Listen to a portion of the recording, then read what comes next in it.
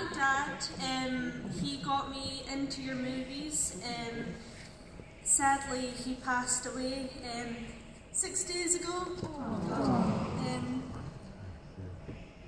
and all the time um, around the house, he used to always go, hoo-ha! and um, when I was younger, I didn't know what that was. And um, that was such like a great, great thing to like see your movies. Um, I was just wondering if you could maybe say um, rest in peace, Alan Walker. Um, it's his funeral on Monday. Um, yeah. Um, Yeah. I can, I can say that what's that, sorry? at his funeral on Monday. Yes. Just please say, um, like, rest in peace, Oh. Alan Walker. Rest in peace, Alan Walker.